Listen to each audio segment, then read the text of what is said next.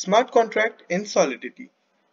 As I've told you earlier about the smart contracts and all, smart contract provides a layer of computational logic that can be executed on the blockchain.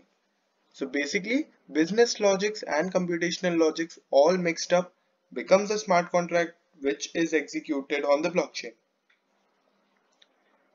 And we'll get all the features of it. Okay, let's talk about Solidity. Solidity is a programming language.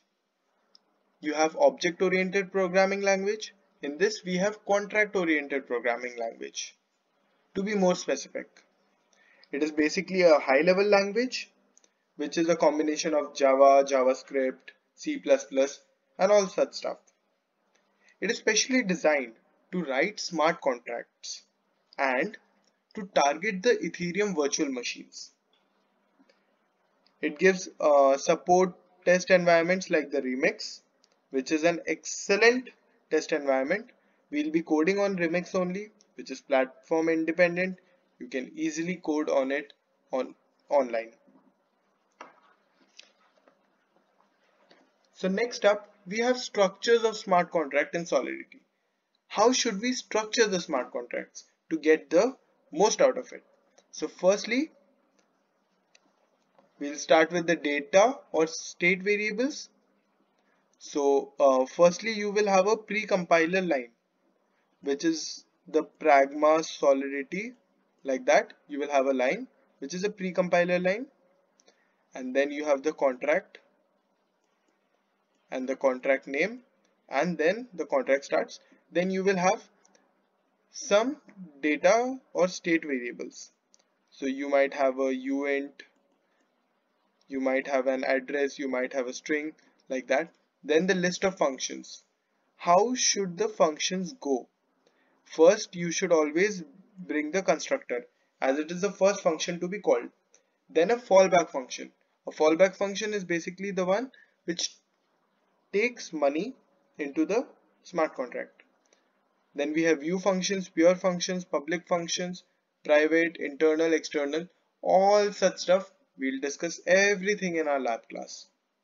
Then user defined data types in like basically the structs and enums are user defined data types which mostly comes after some functions but you can also put it at the top. Then we have modifiers. Modifiers is basically a precondition check which helps us check the condition and uh, we put it on the user input to check the user input conditions. Next up, we have events. Events are basically used for triggering some outside like the outside applications where it cannot directly like the blockchain cannot directly give out information that okay this has changed the state has changed for that we have events so events tell the client side applications that some change has been done. Next, how the processing and deploying is done. Basically, smart contracts firstly needs an address to get deployed and invoke its function. There will be an address. You check out any smart contract, it will have an address on which at which it is deployed. Then the address is basically computed by the hashing and the account and the nonce. That that is a lot more thing we'll discuss later. Then ABI generated for high level applications. ABI is basically application binary interface which is generated for high level applications. ABI can be defined as the interface schema for a transaction to invoke functions on the smart contract. Then the EVM provides execution environment for smart contract bytecode. So that was it for the theory part and now we'll be moving straight into the practical part.